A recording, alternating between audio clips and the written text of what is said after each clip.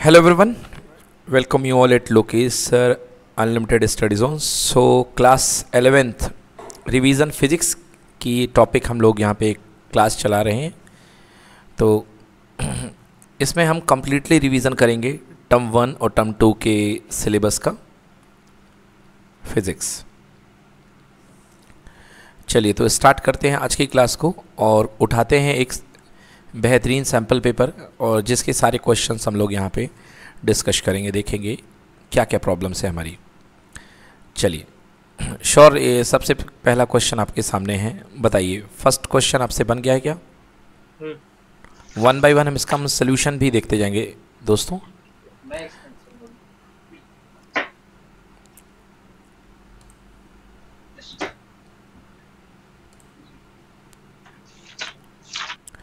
देखिए एक बार fifth question की बात कर लेते हैं हम लोग। A cyclist is moving with a velocity v turns a circular path of the radius r his inclination with the vertical is given by आपको वर्टिकल से इसका इंक्लिनेशन देना है। ये साइकिल वाली प्रॉब्लम है। आपको कई बार हमने बेंडिंग ऑफ़ साइकिलिस्ट पढ़ाई है। Yes, तो ये ये याद कीजिए कि यदि कोई इस तरीके का पाथ है और यहाँ पर कोई साइकिलिस्ट जो है ये साइकिलिस्ट के हैंडल हैं। ठीक है बेटा? Yes, और ये साइकिलिस्ट साइकिल चला रहा है। और ये इसका चका है साइकिल का। क्लियर है बेटा? Yes, तो ये आपको अपने तरफ़ से झुका करके इस तरीके का रिएक्शन प्रोड्यूस करता है। कहिए यस कि नो अंदर Yes. की तरफ़ हल्का सा झुकाता है। झुकाता है कि नहीं झुकाता है? हाँ सर हाँ। ओके।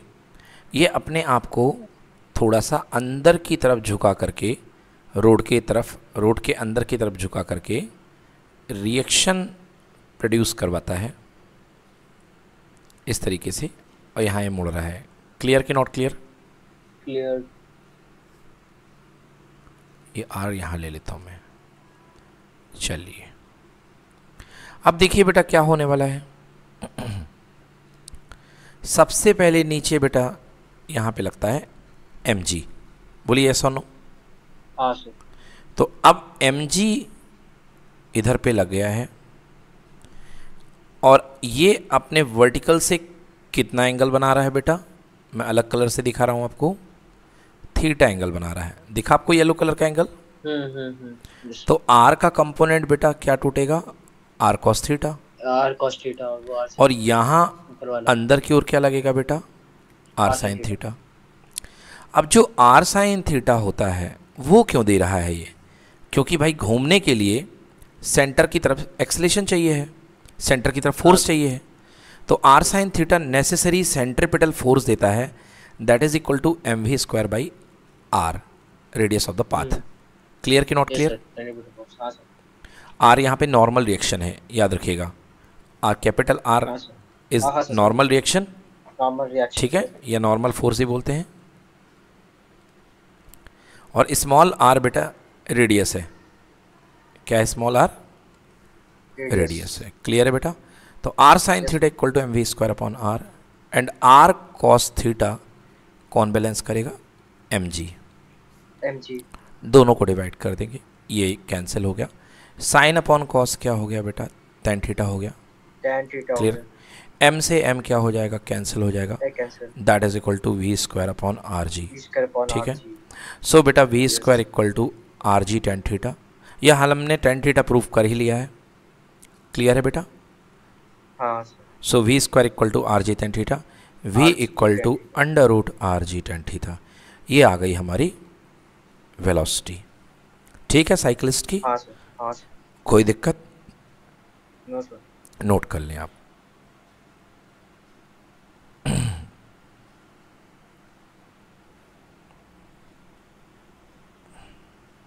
देखिए क्वेश्चन नंबर सिक्स देखिए।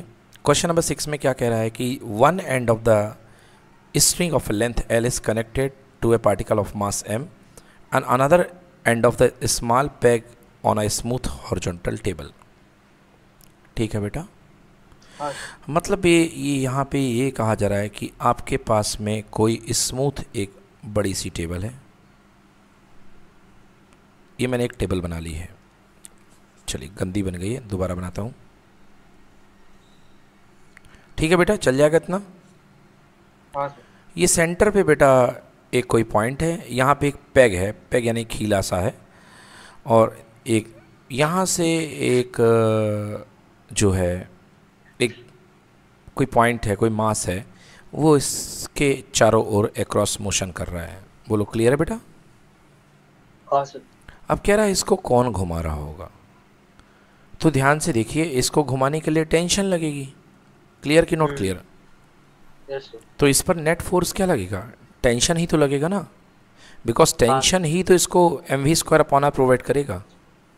क्लियर कि नॉट क्लियर हाँ हाँ हाँ। हाँ तो अरे आंसर इसका हो जाएगा A T is the tension in the string क्योंकि उसको घुमाने के लिए टेंशन प्रोवाइड करेगा। ठीक है ना? तो आंसर इसका ए है। सिक्स का आंसर ए अच्छा। चलिए सेवेंथ क्वेश्चन करते हैं।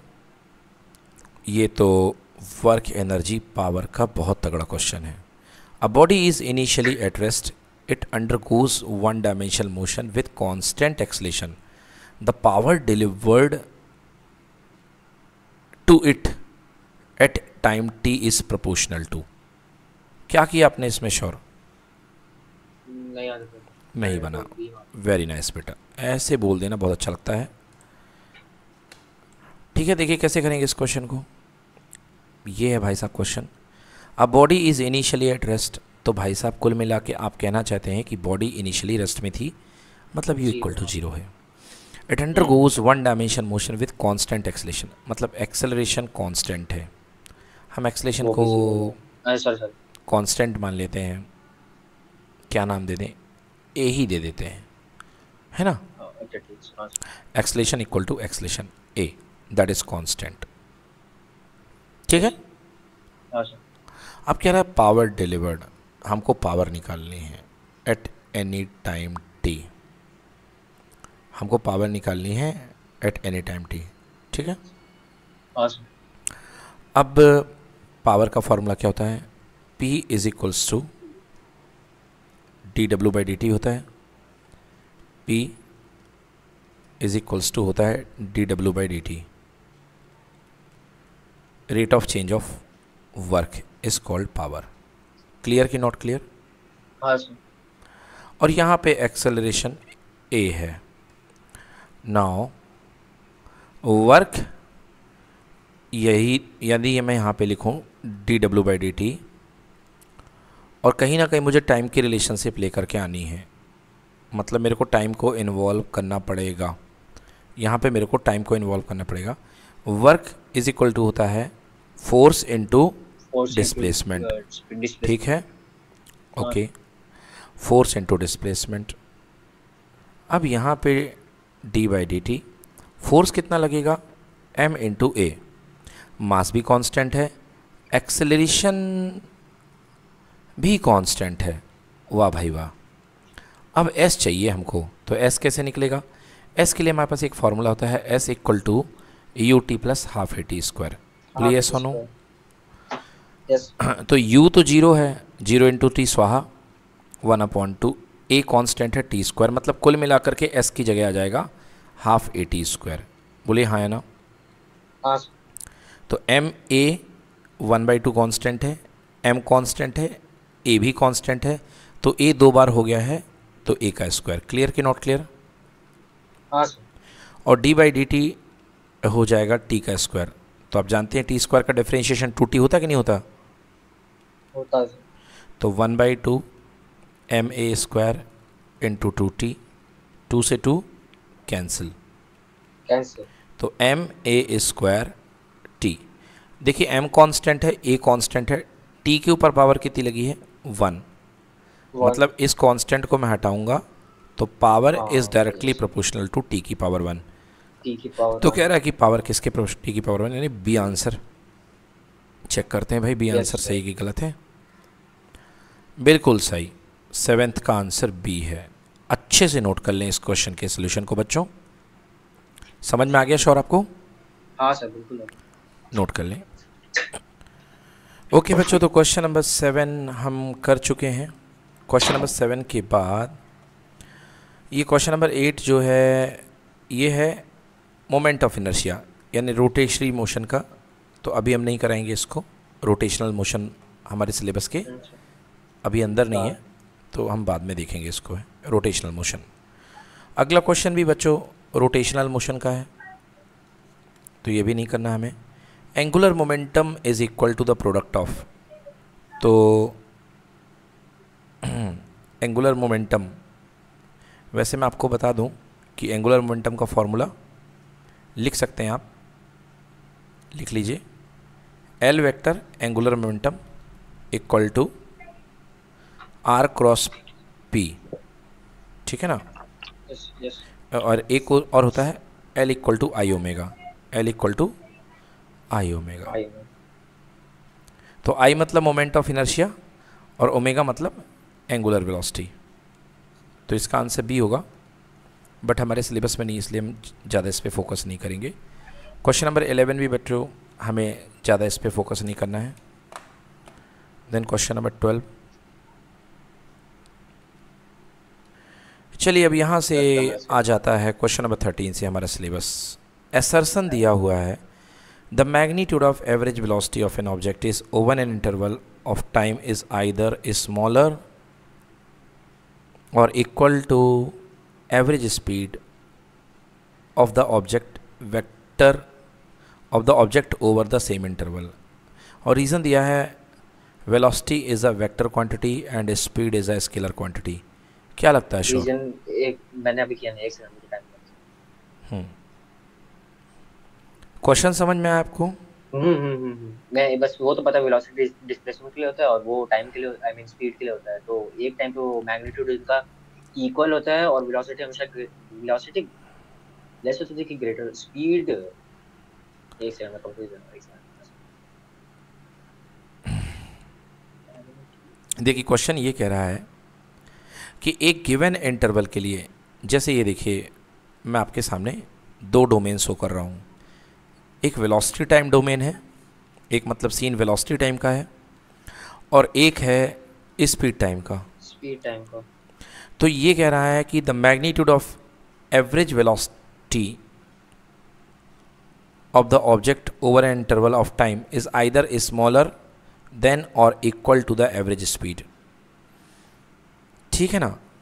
इनका कहना है है कि जो एवरेज वेलोसिटी का मैग्नीट्यूड होता है वो एवरेज स्पीड के मैग्नीट्यूड के या तो इक्वल होता है एवरेज से कम होता है। या उससे कम होता है। ठीक है ना? हम्म हम्म हम्म। तो बताइए क्या ये बात सही है? सही और अगर है। सही है तो क्या इसका रीज़न जो दिया है ये है क्या कि कुछ और है? वही एक सेकंड ये बात तो ट्रू है बट ये रीजन सही है।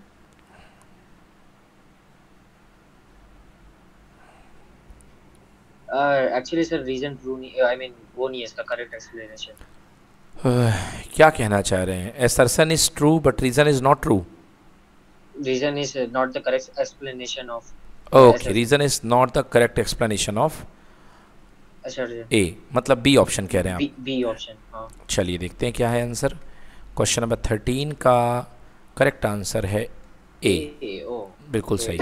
और इसमें इन्होंने कहा भी बिल्कुल सही है। देखिए ये तो आप जानते हैं कि स्पीड जो हाँ। होती है। That is speed equal to होता है डिस्टेंस अपॉन टाइम ठीक है? डिस्टेंस अपॉन टाइम हाँ। हाँ। हाँ तो स्पीड जो होती है वो होती है डिस्टेंस अपॉन टाइम ठीक है? और हाँ जो। हेलो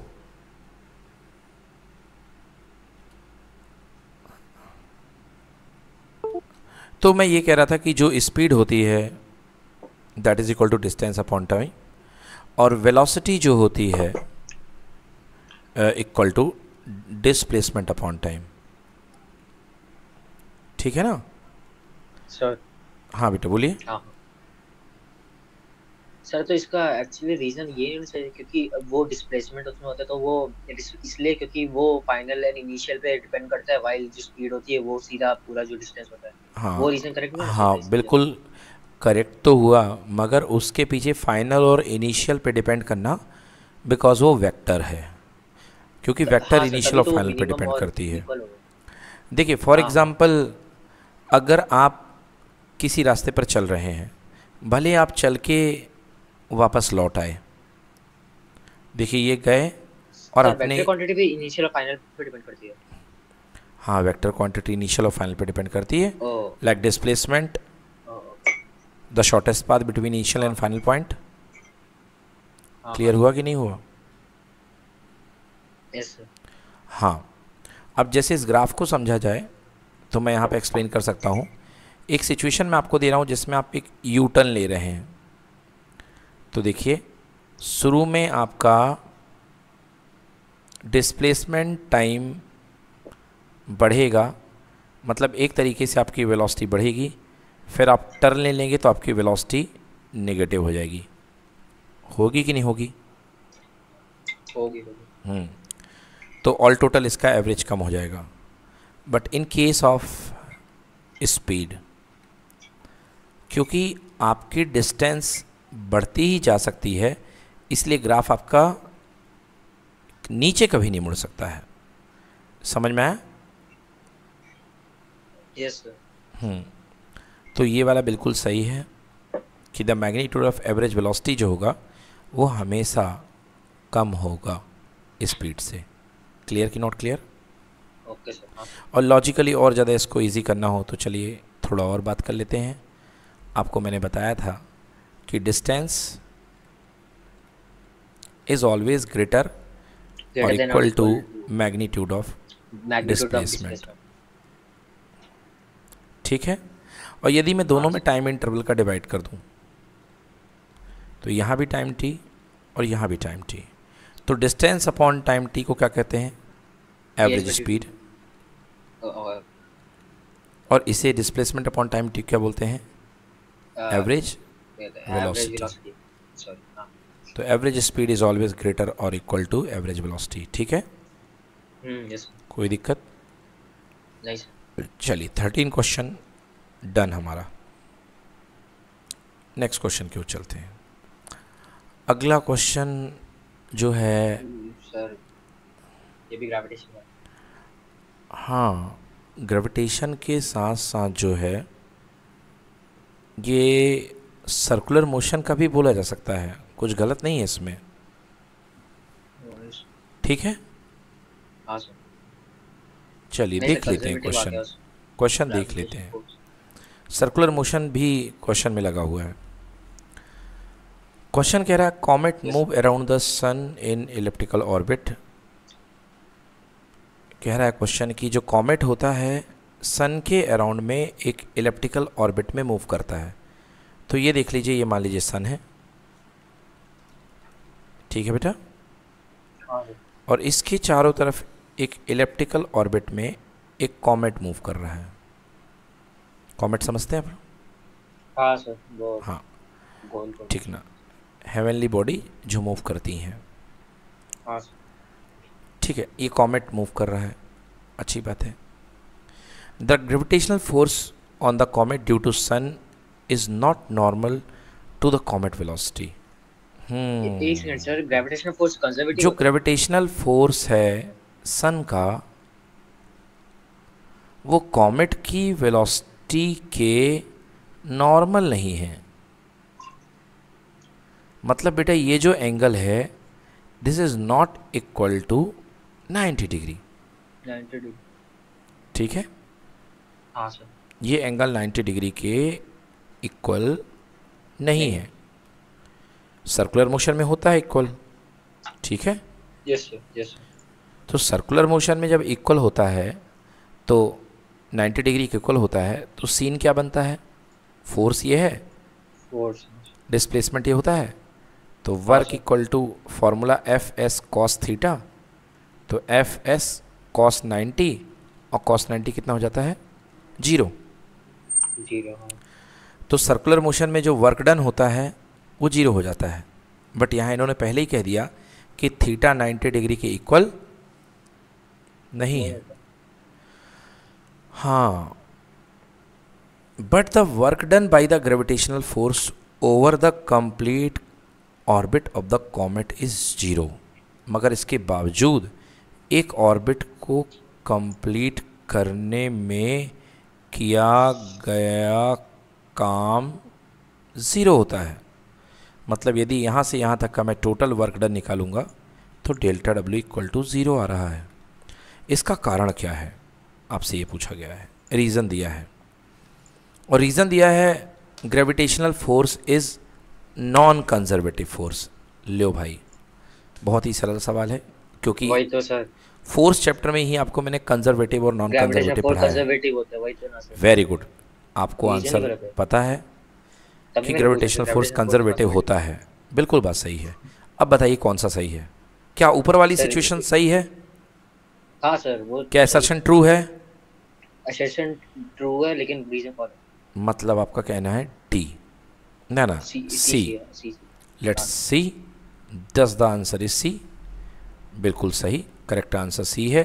क्योंकि बेटा gravitational force as a conservative force और कंजर्वेटिव फोर्स इनिशियल पोजीशन और फाइनल पोजीशन पे डिपेंड करता है। करता जब इनिशियल और फाइनल पोजीशन सेम है तो वर्क डन भी क्या होगा? ज़ीरो है ठीक है?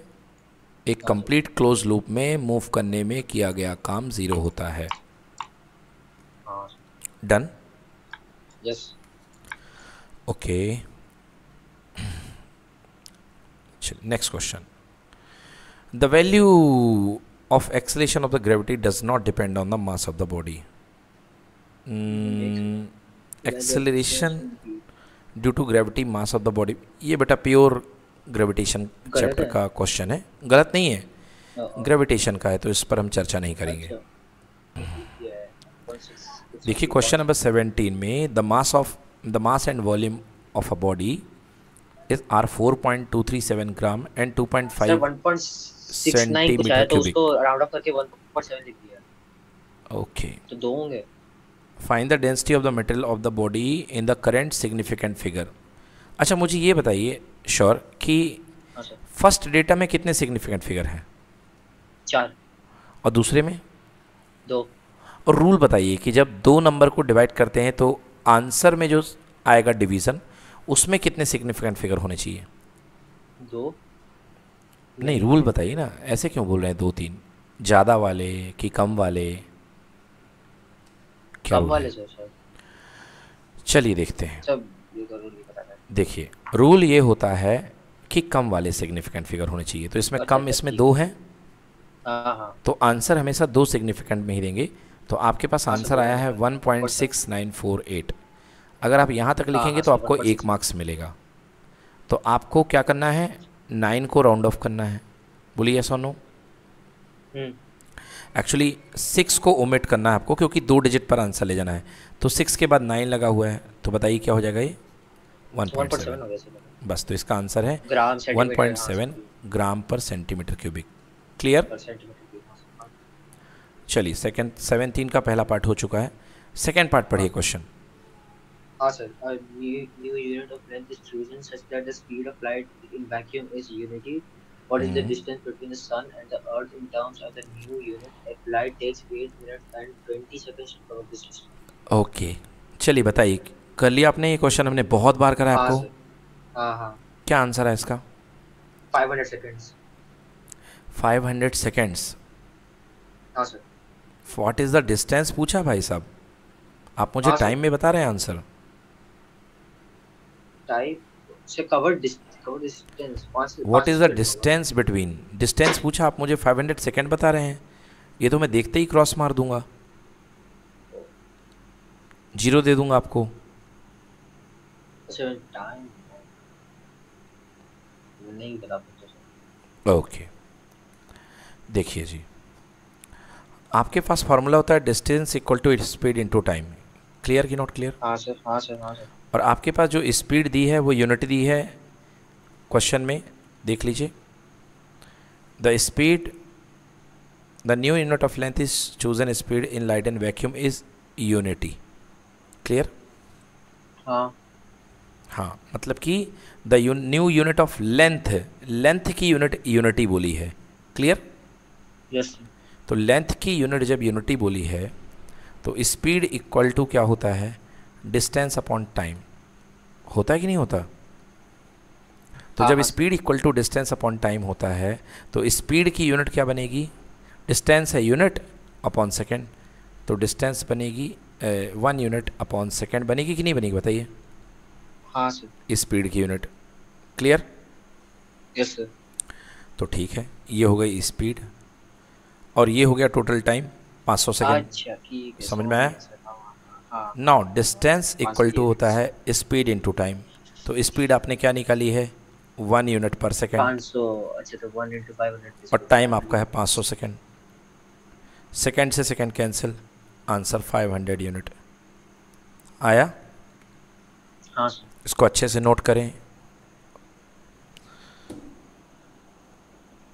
स्पीड का नहीं समझ आएगा क्लियर है एकदम? हाँ सर बनाइए बनाइए।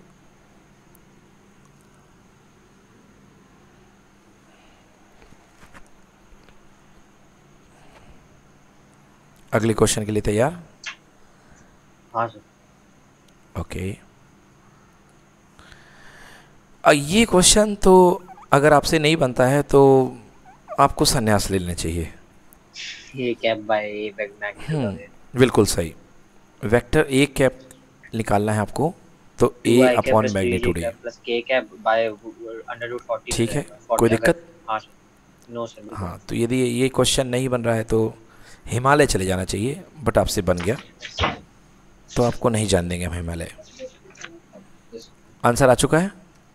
हाँ सर चलिए नेक्स्ट क्वेश्चन देखते हैं।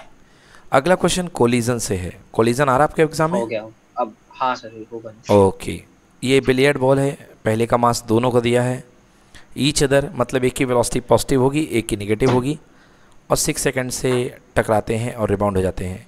इम्पल्स इम्पॉर्टेड इम्पल्स हाँ तो इम्पल्स कितना होता है भैया? चेंज इन मोमेंटम तो दोनों तो सिंपल है चेंज इन मोमेंटम निकाल लीजिए। लीजिए भाई साहब। हाँ तो पहली बॉल का मोमेंटम पहली बार बॉल जो है अ, पहली बॉल का मोमेंटम देखिए। ये निकाल लिया आपने। Final momentum of a ball ठीक है बेटा? हाँ हाँ तो change in momentum equal to initial momentum into final momentum final minute clear हाँ सर ओके ये आ जाएगा इस तरीके से। थोड़ा सा मैं इसको आपको और एलेबरेट करता हूँ। डायग्राम की ज़रूरत है इस क्वेश्चन में। देखिए बच्चों। ये दो बॉल्स थी। एक ये बॉल है। एक ये बॉल है।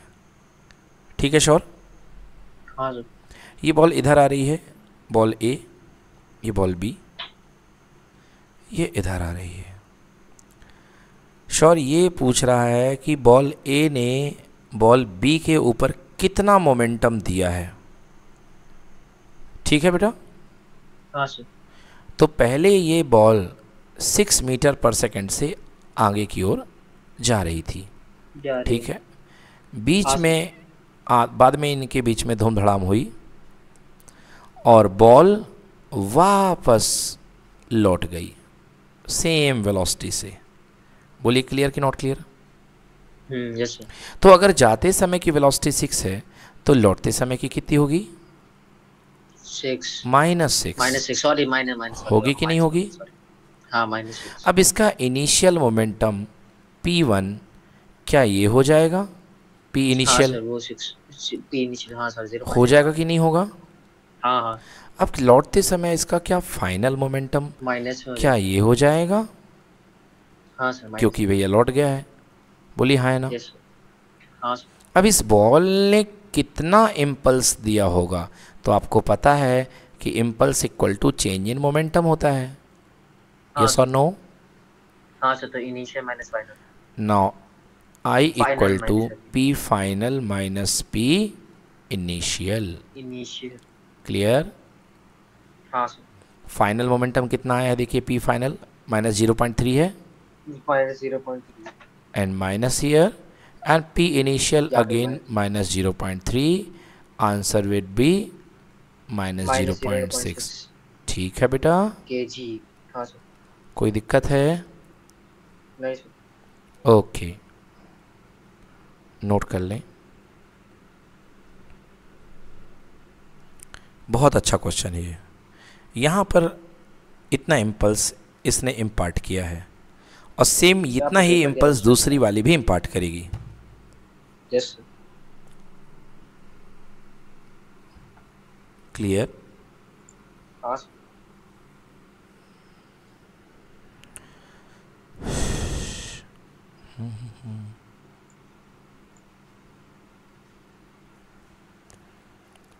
डन बोल दीजिए नोट करें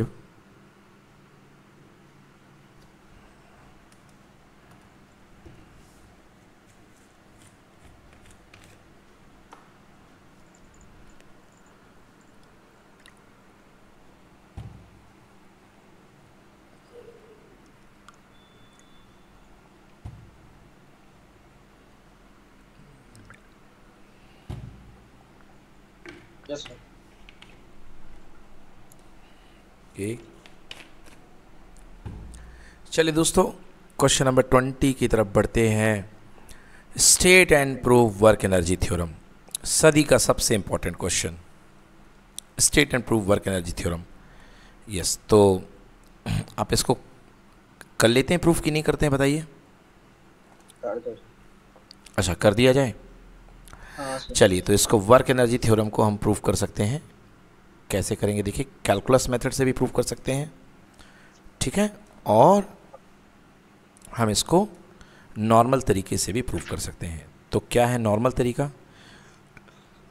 मान लीजिए मेरे पास कोई ब्लॉक एम है और ये इनिशियली यू वेलोसिटी से मूव कर रहा है।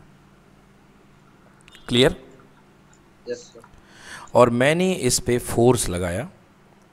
फोर्स लगाने से ये ब्लॉक एस डिस्प्लेसमेंट चलने के बाद इसकी वेलोसिटी वी हो जाती है। बोलिए यस कि नो यस इसकी वेलोसिटी कितनी हो गई है? वी हो गई है। हो गई।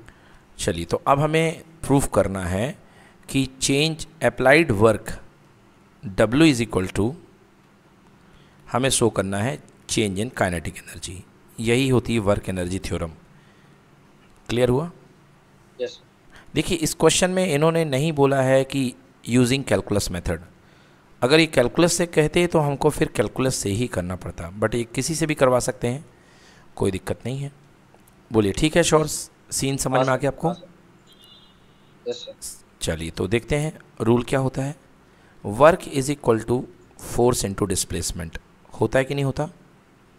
हाँ अभी देखिए फोर्स की डायरेक्शन और डिस्प्लेसमेंट की डायरेक्शन दोनों सेम है। है कि नहीं है? हाँ सर तो इसका वेक्टर ओपन होगा तो एफ़ का मैग्नीट्यूड एस का मैग्नीट्यूड और cos zero degree because force और डिस्प्लेसमेंट दोनों सेम डायरेक्शन में है तो work is equal to F into S okay now you all know कि एफ़ इक्वल टू होता है एम ए तो mass multiply by acceleration into displacement S okay अब चलिए हम लगाते हैं एस का रूल तो by third equation of motion third equation of motion क्या कहता है? थर्ड इक्वेशन ऑफ़ मोशन क्या कहता है? चलिए सॉरी बच्चों स्क्रीन करप्ट हो गई थी। तो मैं ये कह रहा था कि आपके पास में एक ब्लॉक एम है। इसमें आप फोर्स लगाते हैं, एक कांस्टेंट फोर्स डिस्प्लेसमेंट एस की डायरेक्शन में इनिशियल वेलोसिटी यू से इस फोर्स के एप्लीकेशन से फाइनल वेलोसिटी वी हो जाती है। डेफिनेटली कुछ एक्सलेशन प्रोड्यूस होगा।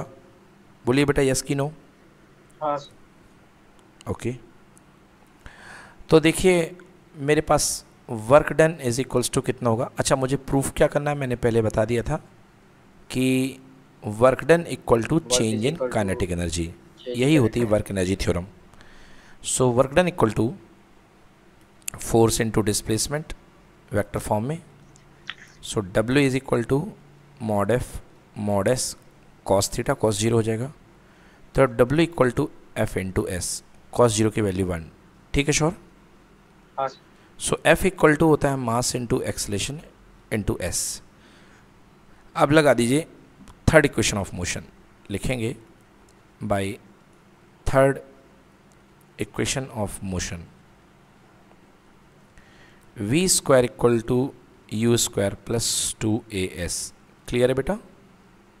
हाँ तो फाइनल वेलोसिटी वी स्क्वायर है इनिशियल U है, और प्लस टू ए एस तो लो सब कुछ सेम है तो हम केवल ए एस की वैल्यू निकाल लें। तो V square minus U square हो जाएगा। अब बाई टू हो जाएगा। यहाँ पे ए एस की वैल्यू पुट कर दें। So W equal to M V square minus U square upon two को मैं दोनों में डिस्ट्रीब्यूट कर सकता हूँ। कर सकता हूँ? हाँ so this is half M V square minus half M U square and this is equals to change in kinetic energy है कि नहीं है? हाँ। So this is called work energy theorem बनेगा? हाँ नोट कर लें। So this is called work energy theorem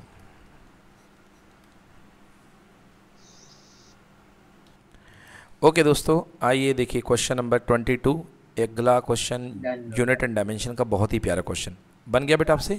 हाँ पूरा हाँ। पूरा बन गया? हाँ सर। बना कि नहीं बना बेटा? हाँ सर बन गया। ओके चलिए देख लीजिए सोल्यूशन यदि आपको देखना हो तो बहुत ही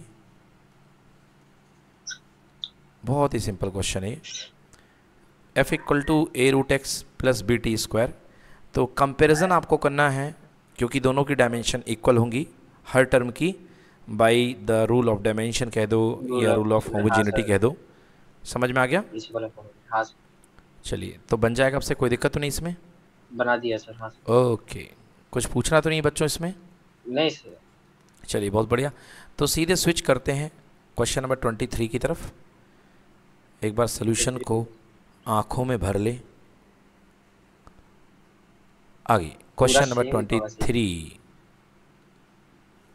question number twenty three two bodies are thrown with the same initial speed at an angle alpha and ninety minus alpha with the horizontal calculate the ratio of maximum height attained by them and horizontal range बताइए कर लिया आपने? कर लिया। कोई दिक्कत तो नहीं है? नहीं सर सीधा सीधा फार्मूला लगाना है बच्चों।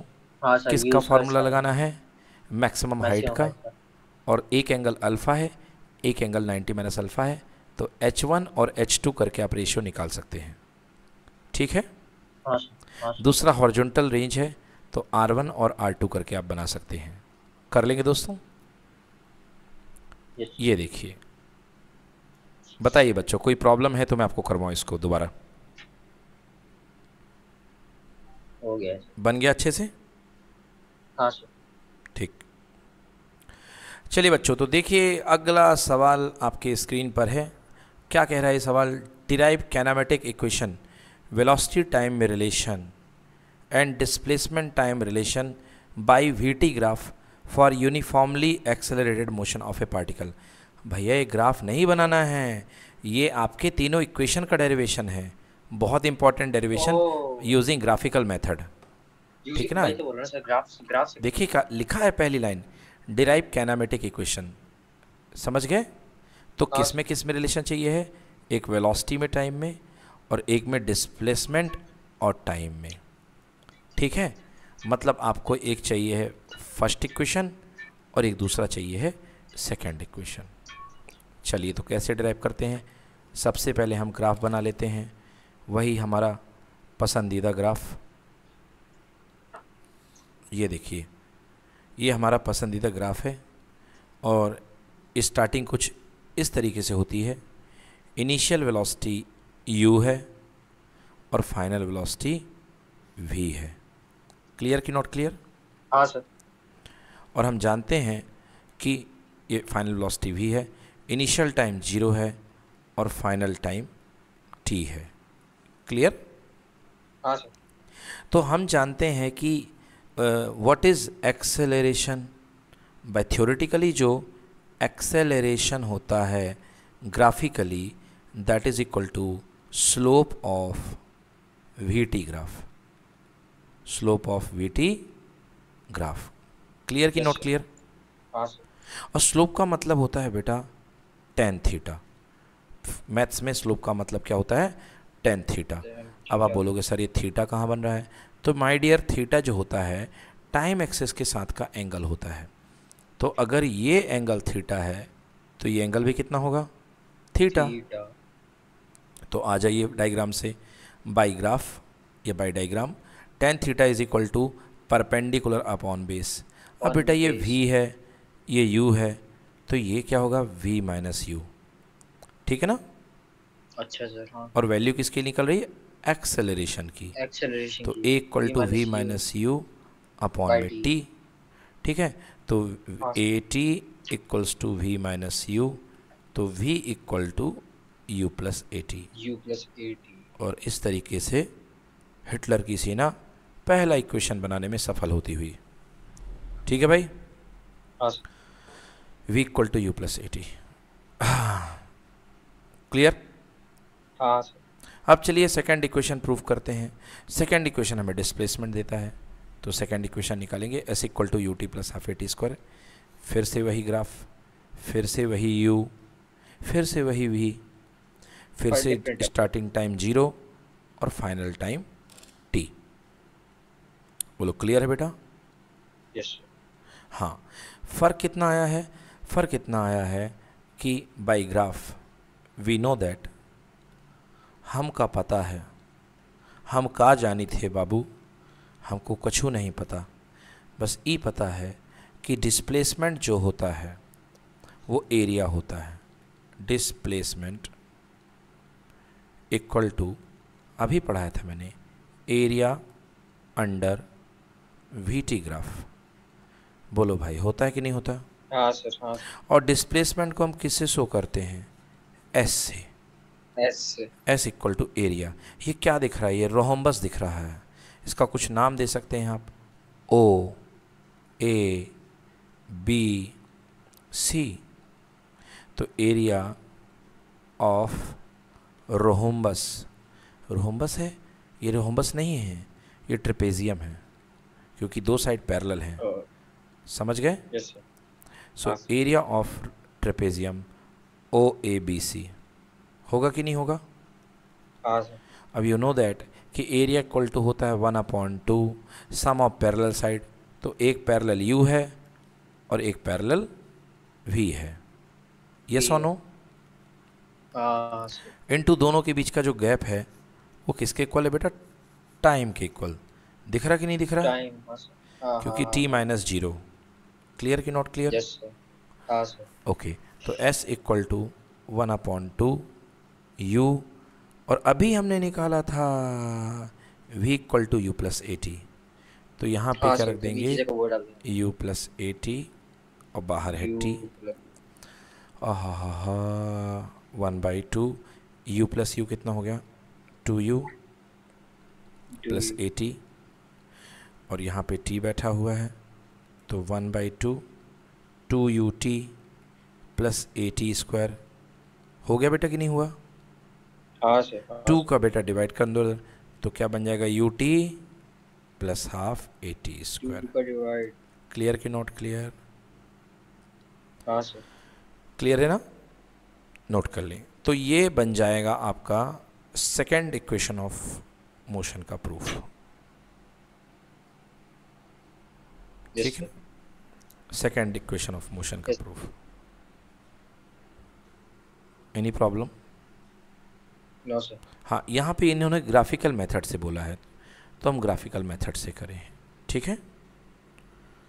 दो, दो मेथड मैंने पढ़ाई है। ग्राफिकल भी पढ़ाई है कैलकुलस भी पढ़ाई है। नोट्स निकालिए देखिए। है ना? कैलकुलस भी पढ़ाई है। सारी मेथड बननी चाहिए। हमने डिवाइड किससे किया? कि ये ये two u u t plus two u t में ये टू बैठा था ना मल्टीप्लाई में दोनों के साथ। हाँ सर। तो टू को जाएगा तो टू से टू कैंसिल हो जाएगा। बट प्लस के बाद हाफ़ बन जाएगा इसका। ठीक ठीक समझ? गया। हाँ हाँ हाँ हाँ हाँ इसका कट जाएगा ना? हाँ हाँ एनी प्रॉब्लम नो ठीक है। यस सर चले आएँगे यस यही इसी क्वेश्चन से हम थर्ड इक्वेशन ऑफ़ मोशन भी प्रूव कर सकते हैं। अगर इस क्वेश्चन में कह देता कि relation between initial velocity final velocity और डिस्प्लेसमेंट और एक्सलेशन बनाना है तो यहीं से हम थर्ड इक्वेशन ऑफ़ मोशन भी प्रूव कर सकते थे। कैसे? देखिए। यहाँ तक तो आ चुका है s equal to half of u plus v into t हम जानते हैं कि जो u प्लस वी है, इसको मैं पलट करके v प्लस यू लिख दूँ तो कोई दिक्कत होने वाली नहीं है। बोलिए ठीक है? Yes, अब v इक्वल टू क्या होता है? U plus a t u plus a t equal to कितना हो जाएगा? V minus u minus u तो t इक्वल्स टू कितना हो जाएगा? V minus u upon a तो t की value v minus u upon a s equal to one by two v plus u v minus u मतलब v square minus u square plus u square upon a ठीक है? Yes तो two into ए बन जाएगा to ए और ऊपर v square minus u square इधर पे टू ए इधर पे स्क्वायर S, by 2 है तो एस का क्रॉस मल्टीप्लाई कर देंगे तो two a s equal to v square minus u square so v square equal to u square plus two a s this is third equation of motion जो कि पूछा नहीं गया था। डन? Yes sir. इसको नोट कर लें. चलिए देखिए अब हम बात यहाँ पे कर रहे हैं सेंट्रीपिटल फोर्स की या सेंट्रीपिटल एक्सेलरेशन की। तो पहले हम बेसिक बात करते हैं सेंट्रीपिटल एक्सेलरेशन प्रूफ इसको कई तरीके से कर सकते हो बट जो मेन इसका प्रूफ ज्योमेट्रिकली होता है उससे किया जाता है। अब देखिए आपको मैं कुछ इसके फंडामेंटल सिखाने की कोशिश करता हूँ। मान लो बेटा इस पॉइंट पर एक वेलोसिटी है v1 ठीक है बेटा? हाँ सर और इस पॉइंट पर एक वेलोसिटी है v2 क्लियर है? हाँ सर अब हमको ये देखना है हम जानते हैं कि एक्सेलरेशन इक्वल टू होता है change in velocity upon change in time और एक्सलेशन की डायरेक्शन जो होती है वो चेंज इन वेलोसिटी की डायरेक्शन होती है। बोली होती कि नहीं होती? हाँ सर तो चेंज इन वेलोसिटी यहाँ पे कितनी है? V two minus v one upon delta t ठीक है बेटा? हाँ सर तो मैं v two minus v one बनाने की कोशिश कर रहा हूँ। आप देखिए ये वी टू है। हाँ। मैं इसको जो है उठा करके थोड़ा आगे ले आता हूँ। ठीक है? हाँ सर मैं उसको उठा करके थोड़ा कहाँ ले आता हूँ? आगे। देखिए ये है इसी को मैं कॉपी कर लेता हूँ। ये लो जनाब और कहाँ पे? पेस्ट कर दिया मैंने? हाँ ये लीजिए। दिख गया? हाँ सर। अब इससे ज़्यादा प्योर तो हो नहीं सकता कुछ? हो सकता है कि नहीं हो सकता? हाँ सर। हाँ सर नहीं ना सर। ना हाँ मतलब हाँ। हाँ सर नाम सर। ये वी टू हो गया। और हमें क्या चाहिए? Minus v one minus v तो ये बैठा है वी वन हमें माइनस वी वन हम्म। बनाना है। मतलब इसका जस्ट अपोजिट। क्लियर कि नॉट क्लियर हाँ सर तो भैया ये वी वन है। इसका एक कॉपी उठा के मैंने ये पेस्ट मार दिया भाई साहब। तो पीछे की डायरेक्शन में अगर ये वी वन है आगे की तरफ़ तो क्या यहाँ पे ये माइनस वी वन हो जाएगा? कि नहीं हो जाएगा? हाँ हो जाएगा क्लियर है कि नहीं है? क्लियर है। यहाँ ये हो जाएगा वी टू और ये हो जाएगा माइनस वी वन क्लियर कि नॉट क्लियर हाँ हाँ। हमें क्या चाहिए है? V two plus minus v one क्या चाहिए हमें देखो? ये देखो इसको लिख सकता हूँ v two plus negative v one चाहिए कि नहीं चाहिए? हम्म हम्म यस तो क्या होता है भाई साहब? रूल ये होता है कि अगर दो वेक्टर जाएँगे तो पैरेललोग्राम बनाइए। और जो रिजल्टेंट आएगा वो यहाँ की तरफ़ आएगा। आएगा कि नहीं आएगा? हाँ सर। क्लियर हुआ कि नहीं हुआ? क्लियर है। तो ये जो जाएगा ये क्या बनेगा? ये बनेगा दोनों का resultant v one v two minus v one दोनों का सम बनेगा कि नहीं बनेगा? हाँ तो देखो बेटा ध्यान से। यदि मैं इसको उठा के यहाँ से ले जाऊँ इस पॉइंट पर रखूँ तो आप महसूस करना देखो मैं किस पॉइंट पे बनाया मैंने? एडिशन किया है। मैंने इस पॉइंट पर एडिशन किया है। ये देखिए इस पॉइंट पर एडिशन किया है कि नहीं किया है? हाँ सर। अब मैं इस वेक्टर को उठा के ले जा रहा हूँ। तो देखो फील करो कहाँ पर एक्ट करेगा। आ जाओ आ जाओ आ जाओ आ जाओ आ जाओ आ जाओ। हाँ। देखा भाई साहब सेंटर की तरफ़। हाँ सर। मतलब जो वी टू माइनस होगा वो एक तरीके से कहाँ लगेगा? सेंटर की तरफ़। क्लियर हो गया? यस सर दैट्स वाई इस फोर्स को हम बोलते हैं सेंट्रिपिटल फोर्स समझ में आया? ओके यहाँ पर जो एक्सलेशन होता है वो कहलाता है सेंट्रिपिटल एक्सलेशन और जो फोर्स होता है उसको हम बोलते हैं सेंट्रिपिटल फोर्स क्लियर